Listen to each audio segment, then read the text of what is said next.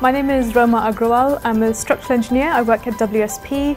I've done all sorts of different projects um, around London and the UK.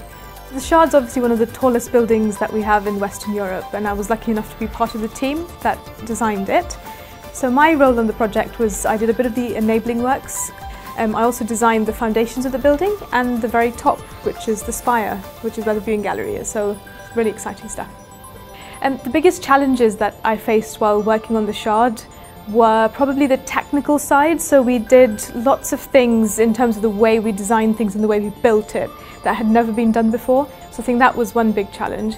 I think the other big challenge was about the geometry and how it was going to be built.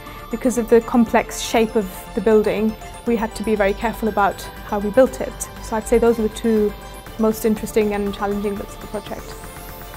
I've been in the engineering industry for about nine years now, if you, and 10 if you count when I was studying my master's.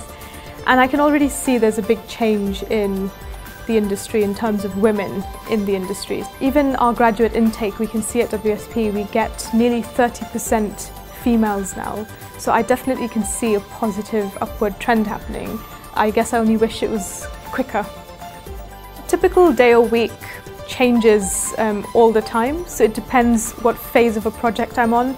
So I might be doing meetings with architects, looking at their sketches, trying to work out how to put a building up and how to make it stand, all the way through to doing maths and physics to design the actual building, and finally be on site watching the construction of it and making sure that it's being built the way we want it to be.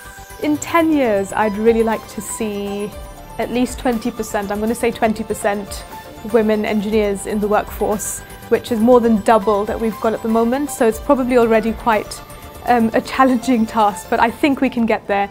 And I would love to see us get up to about 40, 45%. There's absolutely no reason we should be close to a 50-50 split.